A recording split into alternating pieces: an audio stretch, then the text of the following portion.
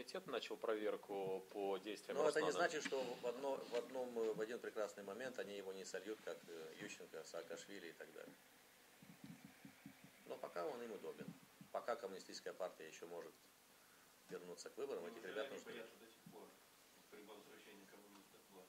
Ну так это же их идея, западная идея коммунизм, поэтому не боятся они. Степанюк, скажем, хочет спросить. Да, Барук, да. Да. Нет, я, э, Виктор Ильич, извините, просто э, кто из коллег не был, у нас несколько недель назад была абсолютная премьера. Впервые перед э, честной компанией гостил э, Верел Анатольевич Китрару, директор Национального центра по борьбе с коррупцией. Он сказал открытым текстом, по его сведениям, и сказал открыто, коллеги подтвердят, у 100 богатейших людей Молдовы есть счета на Кипре. И общее состояние всех молдавских олигархов в совокупности составляет 8 миллиардов долларов США. Миллиардов. А, Виктор Степанюк, э, политик-историк. Iuri, eu am vrut să întreb uh, următorul lucru. Deci noi, uh, ne-ați conștientizați și pe mine asta mă bucur, vă cunosc de mult, conștientizați că Republica Moldova are perspective. Dar totodată noi nu avem astăzi, uh, în 20 de ani, nu avem o clasă intelectuală care să propună o, o variantă de modernizare a țării respective. Noi suntem cu dumneavoastră în politic și am văzut foarte multe, de la 90 încoace. Și varianta aceasta de a consolida ceea ce se numește elita unei societăți în Moldova, ea de fapt a suferit eșec. Așa mă gândesc eu. Și atunci eu apare întrebarea.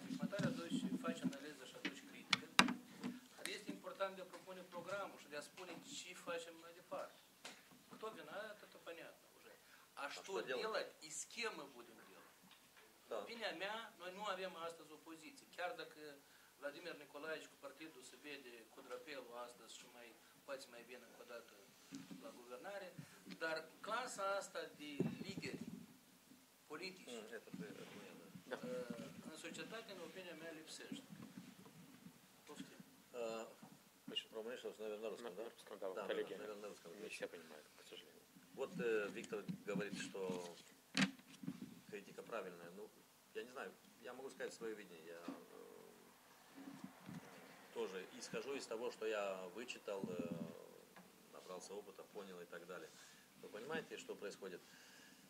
В очень непростой ситуации. Мы, пони- мы понимаем, что происходит, э, как говорят э, теоретики, в процессе десуверенизации страны. Есть такой термин, да. Десуверенизация страны. Самая опасная вещь, которая происходит с нами. И не только с нашей страной. Мы понимаем, что мы не можем играть одни в этом сложном мире. Нам нужны союзники, надежные союзники. Я вам скажу пару слов на это. Я повторю и с гордостью повторю. Я считаю, что Евросоюз исчезнет с лица земли быстрее, чем исчез СССР. Можете меня процитировать. Это скандальное заявление. Да? Просто мы статично смотрим на вещи. Я помню, когда э, в 88 году у нас было одно из первых собраний, я был такой-то молодой, горячий, так сказать, да, я поднялся на этом э, собрании, и это было человек 50, наверное, нас в театре, в, еще был э, кинематограф Кишинев, кинотеатр Кишинев возле базара, да, и сказал, уважаемые друзья, я считаю, что СССР исчезнет, он изжил себя. Через пять лет меня догоняет в, в, в парке э, академик э, Пету Солдан, тогдашний председатель комиссии и советник президента Снегура. Говорит, Юра, я все эти годы все это думал, а ты откуда знал все это? Я говорю, слушайте, господин профессор, я не знал, просто я очень желал этого.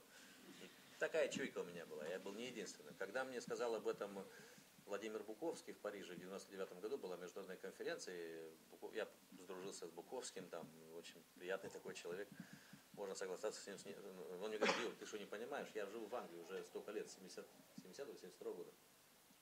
Евросоюз исчезнет. Раньше ты предполагаешь. Я говорю, что вы говорите, господин Буковский? Вы легендарная фигура. Такого не может быть никогда. Это же... Вот посмотришь.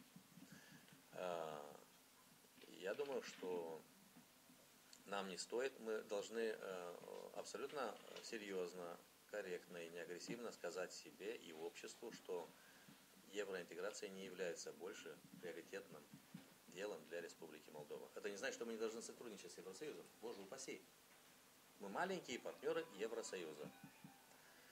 А, Это раз. Во-вторых, э, мне посчастливилось беседовать э, с известными политическими общественными деятелями э, России и других постсоветских стран. вы, наверное, заметили, об этом пытался писать и в Астане год назад, и недавно в Минске, и по другим там возможностям, как журналист, как политик. Я говорю, ребят, ну, таможенный союз, э, Евразес, все это, конечно, интересно. Но э, посмотрите, я процитирую вам двух э, российских мыслителей, которые писали в 20-е, 30-е, 40-е годы уже в изгнании, скажем. Это Иван Ильин и Георгий Федотов. Я только двоих процитирую. Кстати, Федотова мне дал другой Ильин. Есть такой батюшка Ильин, который, я забыл сейчас его имя, отец Ильин, он является официальным представителем Русской Православной Церкви при Евросоюзе, это ранг посла. И официальный представитель фонда «Русский мир». Очень интересный интеллектуал, очень серьезный э, э, священнослужитель, светлая голова просто. Я вычитал э, у этих авторов, да и у других, задача, э, вопрос таков, что произойдет с Советской Россией после того, как коммунизм рухнет? Как обустроить наши отношения с бывшими окраинами Советской империи? Что это должны быть абсолютно, как сказать, э, разные, не под одну гребенку. С Украиной так, с Молдовой так, с Грузией так, с Арменией так. Мысль, которая меня шокировала, потому что я часто об этом пытался говорить, я думал, что я открыл Америку. Оказывается, многие люди до, до нас умные и так далее, гениальные писали. Если Россия не сможет обестроить правильно свои отношения с э, новыми независимыми государствами, возникшими после развала СССР, эти маленькие независимые государства э, перейдут в объятия наших геополитических противников. Так оно и произошло. Это- Я не говорю, что в этом виновата Россия. Мы все, когда рухнуло, это нас застало врасплох. Мы думали, что там рай земной. Россияне пошли там по тому же пути с Ельциным. А оказалось, что не совсем так. Поэтому э, я считаю, что э, мы должны осознавать необходимость очень серьезного и позитивного диалога с Российской Федерацией и с Украиной. Не забывайте про Украину, это наш сосед. Это наш э, географический не только, и стратегический партнер должен быть более заметным. Мы должны договариваться с Российской Федерацией. И если наши европейские партнеры поймут, что мы начинаем договариваться с Российской Федерацией на очень серьезной основе, то они будут с на- с нами по-другому себя вести. Вот я вам приведу такой пример. Почему Польша не изменила свое земельное законодательство, а остальные изменили? Поляки выдержали удар. Просто. Выдержали удар. Сказали, ребята, мы хотим Евросоюз, но мы не будем менять это законодательство. Земли наши, все. Мне кажется, что это очень важно. Я не знаю, я пытаюсь читать, что пишут на эту тему. Я уверен, что... Вот я, мне посчастливилось с Михалковым об этом говорить. Ну, светлая голова, не только гениальный художник и так далее. Вы слушайте, вы, наверное, правы, потому что ну, нельзя всех. Казахстан и Молдова это разные величины, понимаете? А, Поэтому а, мне очень интересно, что я встречаю людей, которых не видел по 15, по 20 лет из Америки, из Франции, из Румынии, говорят, Юр, вам нужно дружить с Россией, у вас другого выхода нет. Я вам приведу два примера. Э, Военный парад в Москве, господин Гимпу президент. Меня позвали на фонд признания. Я там держал речь. Вы слушайте, Германия самая большая и самая успешная экономика Евросоюза. Проигравшая, побежденная страна. У них там свои, наверное, какие-то чувства такие интимные. Но им нужна Россия, дружественная Россия. Это партнер, это стратегический партнер. Экономический, политический, энергетический, инвестиции. Молдова самая бедная страна. И э, пытается махаться, махать кулаками на Россию. Зачем? Это может делать журналист, это может делать э, политолог, но глава государства или руководитель, или вообще любого ранга не может себе позволить такого. Нам необходимо, ну я просто привел такой экстремальный пример, нам необходимо выравнивать отношения. И в то же время мы должны понять, что мы не, э, не должны э, рассчитывать, что добрый дядя Путин решит за нас наши вопросы, может помочь, но не решит за нас наши внутренние вопросы, ни экономические, ни политические, ни региональные, ни приднестровский вопрос. Поэтому э, я абсолютно однозначно э, говорю, что я считаю, что евроинтеграция не должна больше происходить в этой форме. Нас считают за дебилов, понимаете? Мне понравилось, как один свящ- священнослужитель из Румынии, Царство Небесное, говорил про Румынию лет 15 назад. Очень просто, говорит, Кремль поменяли просто из Москвы в Брюссель, и все. Уже директива оттуда. Просто мы не поняли, что это новый Советский Союз на другой лад. И, или другой пример вам скажу, что Вот есть четыре основные свободы. Я не буду долго, извините, может я слишком. Четыре основные свободы Евросоюза, да? Свободное передвижение. Помните, да? Товаров, услуг, денег и народу. Значит, три вида движения. Оттуда сюда и только одно движение отсюда туда. В форме гастарбайтеров. Мы можем сопоставить эти величины. Я вам процитирую другого. Я сейчас крамолой занимаюсь просто.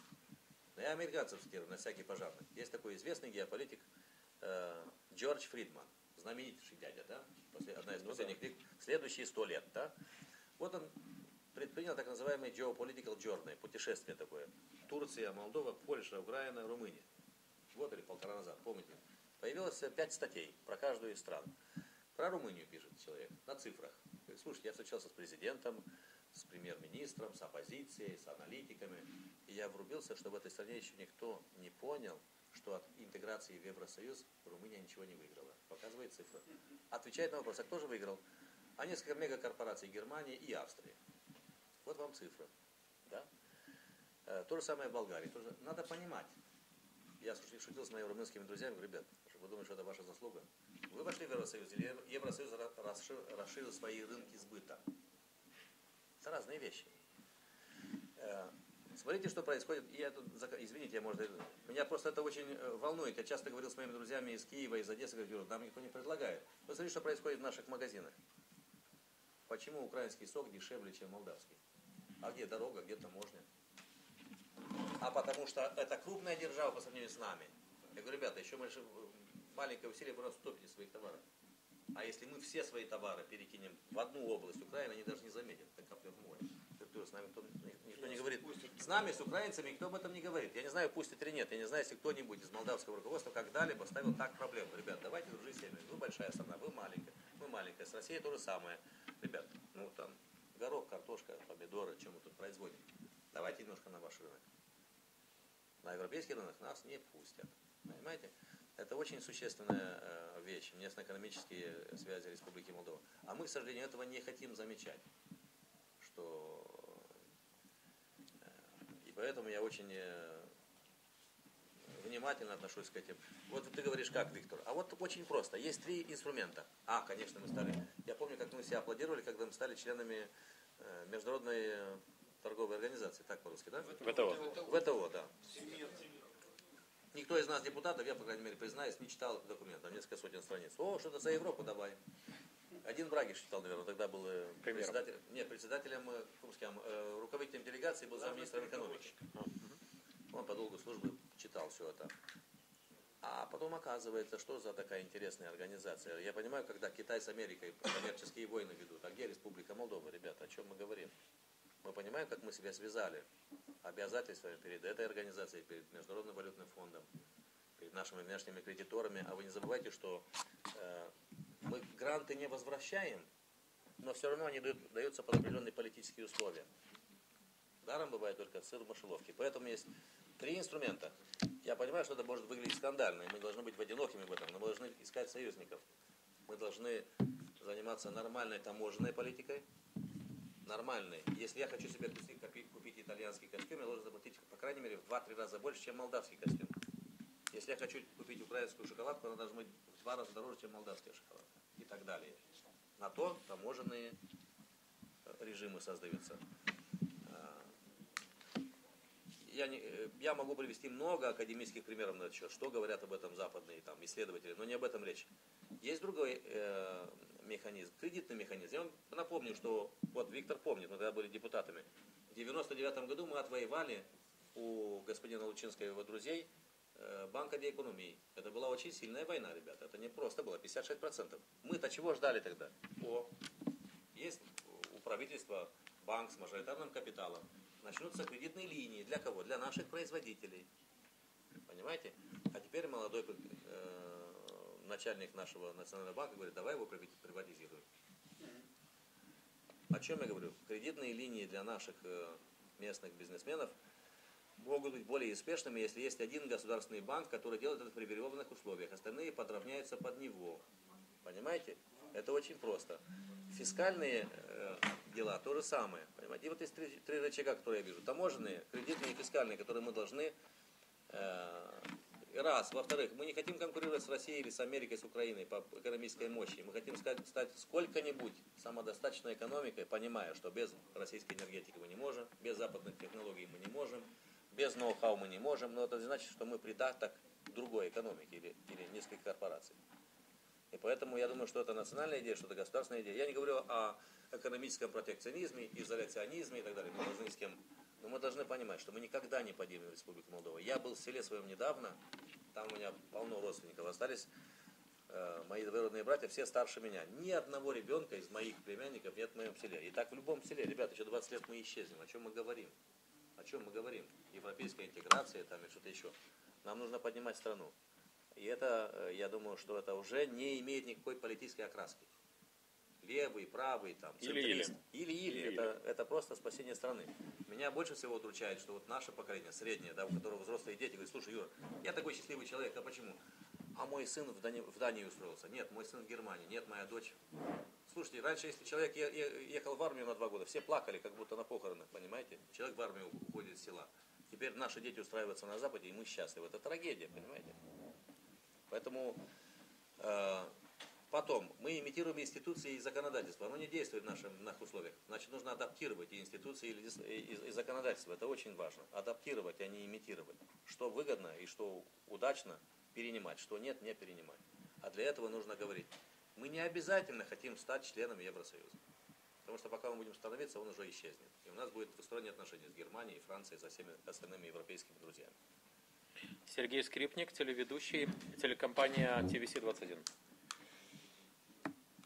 Я чуть уйду из постуниверситетского образования.